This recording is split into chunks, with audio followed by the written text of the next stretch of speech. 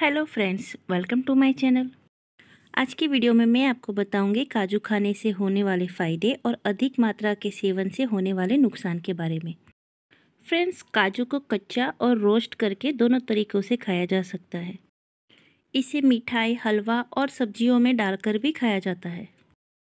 काजू में calcium, fibre, phosphorus, iron, potassium, protein, zinc, sodium और मैग्नीशियम जैसे पोषक तत्व पाए जाते हैं। सुबह खाली पेट काजू खाने से हड्डियाँ मज़बूत होती है, पाचन शक्ति स्ट्रॉन्ग बनती है, याददाश्त तेज होती है। खून की कमी दूर होती है और कोलेस्ट्रॉल कम होता है।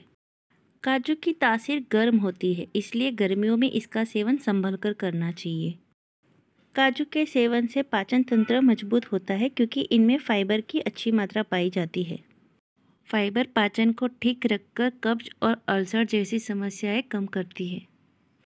काजू में मौजूद मैग्नीशियम ऑस्टियोपोरोसिस जैसी बीमारियों की रोकथाम में मदद कर सकता है। इस बीमारी में हड्डियाँ कमज़ोर और नाजुक हो जाती है। काजू में मौजूद मैग्नीशियम रक्त में मौजूद ग्लूकोज को स्टेबलाइज करने में मददगार हो सकते हैं, जिससे डायबिटीज़ कंट्रोल में किया जा सकता है। काजू में मौजूद आयरन स्वस्थ लाभ रक्त कोशिकाओं को बढ़ाने में मदद करता है, जो शरीर में ऑक्सीजन को पहुँचाने में मदद करते हैं।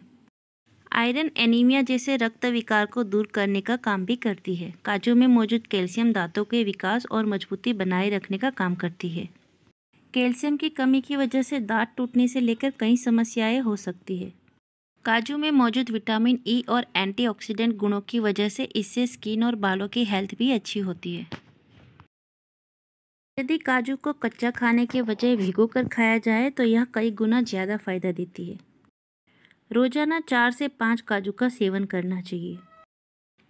इससे अधिक मात्रा का सेवन फ्रेंड शरीर को लाभ के बदले नुकसान भी कर सकते हैं। ज़्यादा काजू खा लेने से पेट खराब हो सकता है, मोटापा बढ़ सकता है, हाई बीपी और किडनी से जुड़ी समस्याएँ भी हो सकती है। सिर दर्द और माइग्रेन से पीड़ित लोगों को अधिक मात्रा में काजू का सेवन नहीं करना चाहिए।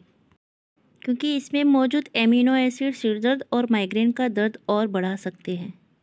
यदि फ्रेंड्स, यह जानकारी अच्छी लगी हो तो like, share and subscribe my channel. Thanks for watching. Bye friends.